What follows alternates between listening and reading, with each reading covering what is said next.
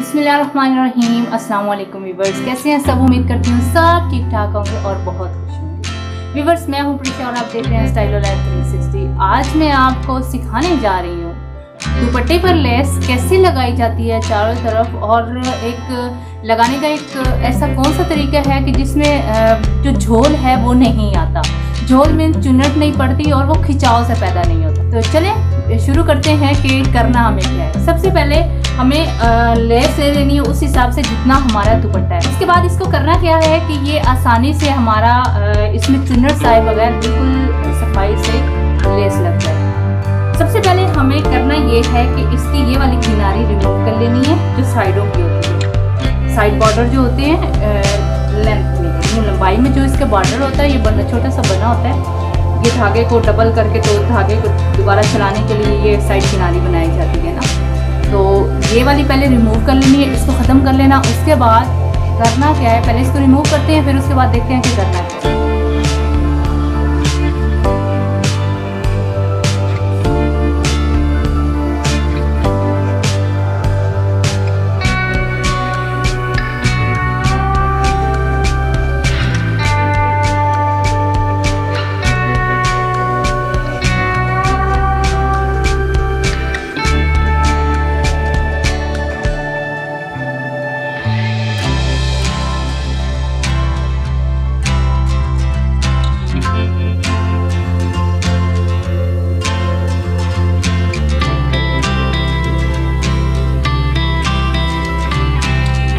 ये हमने कटिंग कर लिया है। कटिंग करने के बाद हमें इसको इतना बनाना है, यानी इसके अंदर इतना फोल्ड करना है कि एक सिलाई से ही हमारी लेस भी कवर हो जाए और इसका ये जो, ये हमने काटा है, ये इसकी साइड काटी है, ये भी इसी एक सिलाई के अंदर ही कवर हो जाए।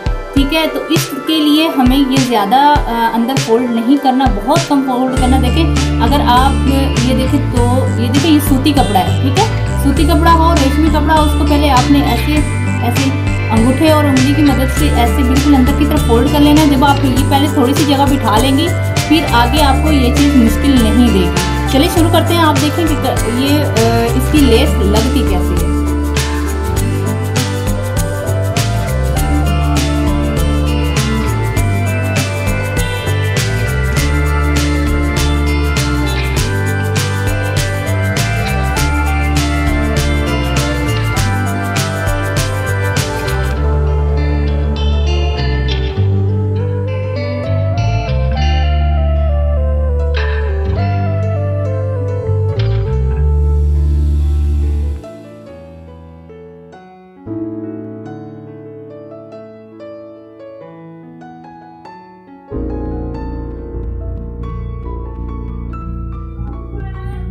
ये आप देख सकते हैं कि इसमें कपड़ा कहीं भी अंदर का जो कपड़ा है, जो दुपट्टे का कपड़ा है, वो कहीं भी नज़र नहीं आ रहा। सिर्फ़ और सिर्फ़ इसकी लेस लग रही है और लेस बहुत सफ़ाई के साथ लग रही है। इसमें कहीं झोल, कहीं कुछ भी चुनट नहीं आ रहे। तो अब जो मेन चीज़ है, वो किनारा मोड़ने, यानी लेस को फोल्ड करके दूसरी साइड पे लाने का मेन प्रोसीजर जो है, इसके बाद वो होता है। तो ये मैं लगाती हूँ, उसके बाद फिर फोल्ड करना देखते हैं कि वो किस तरह फोल्ड करते हैं।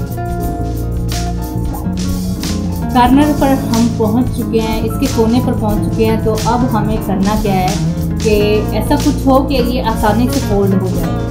अच्छा इसके लिए हमें मुश्किल सिर्फ़ इसी बात की होती है, क्योंकि ये वाली साइड जो होती है, ये हमारी रेब में होती है। तो ये रेब में साइड होती है तो ये वाले कोना मुड़ते हुए साइड मुड़ते हुए मुश्किल होती है। इसके लिए हमने क्या करना है? इसके लिए हमें करना ये है कि सबसे पहले ये जब इधर से आ रहा होगा तो इसको हम इसी तरीके से हल्का सा फोल्ड करके ये वाली चीज़ रखी है।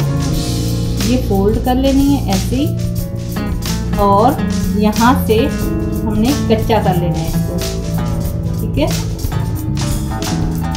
जब ये कच्चा हो जाएगा तो फिर ये मज़बूत हो जाएगा। अब इसी तरीके से हमने इसको भी फोल्ड करके कच्चा कर लेना है दूसरी साइड को। तो ये हमारा कॉर्नर एक तैयार हो गया ये देखिए। ये चीज़ हमारा कोना जो है वो बड़ा प्यारा तैयार हो गया है। और इसी तरह हमने इसको अच्छा इस साइड को ज़्यादा खींचना नहीं है। खींचने से इसमें बल पड़ जाते हैं, ठीक है? देखिए, ऐसे ही इसे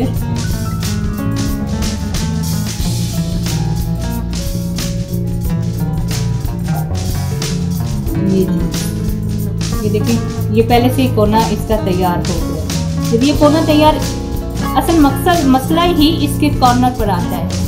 लेस लगाने का बस हमें तरीका होना चाहिए कि हमें, हमारी लेस और हमारे जो ये कॉर्नर है, ये एक ही सिलाई में कवर हो जाना चाहिए ताकि इससे बुरा ना लगे, ठीक है? सिंगल सिलाई डबल सिलाई बुरी ना लगे। जब हम पहले इसको फोल्ड करेंगे, फिर लेस लगाएँगे, एक तो खिंचाव अलग से बन जाएगा, दूसरा डबल सिलाई इसकी बन जाएगी।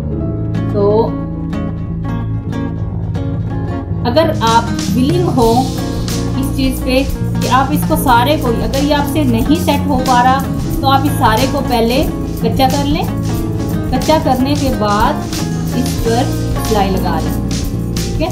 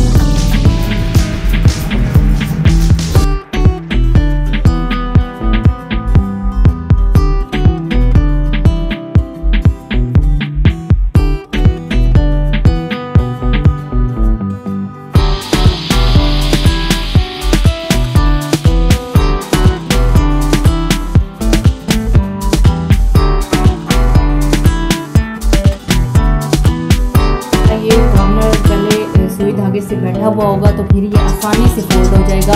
इसको किसी किस्म की कोई तंगी नहीं होगी। जैसा कि मैंने आपको पीछे भी बताया है कि इसका पहले कॉर्नर आपने सुई धागे से सेट कर लेना है। जब आप सुई धागे से सेट कर लेंगे तो कॉर्नर बिल्कुल आसानी से फोल्ड हो जाएगा।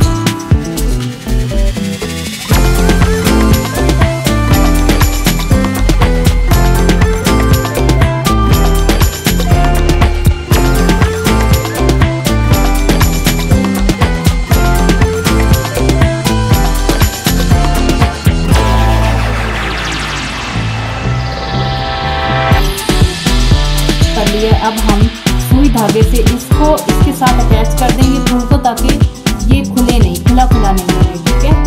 अब इसको बिल्कुल साथ साथ हम कट कर देंगे। ये दुपट्टे की लेस लग चुकी है, इसको हम फुल धागे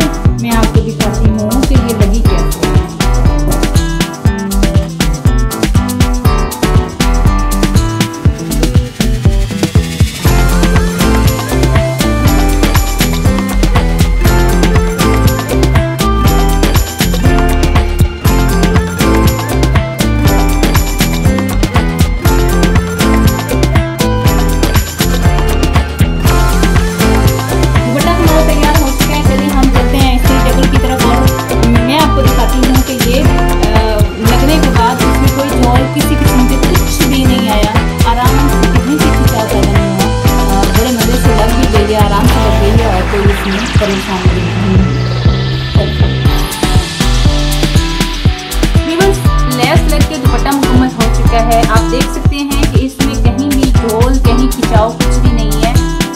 जब अक्सर ऐसा होता है कि जब आप इसकी जो मैंने आपको तरीका बताया है, लेस लगाने का, इसके किनारे पहले कट करने का फ़ायदा ही यही होता है कि आप देख सकते हैं, बिल्कुल इसमें कहीं भी झोल नहीं है। तो व्यूवर्स अगर आपको मेरी वीडियो पसंद आए लाइक करें, ज़्यादा से शेयर करें और मिलते हैं इंशाल्लाह एक नई वीडियो के साथ। तब तक के लिए अल्लाह हाफिज़।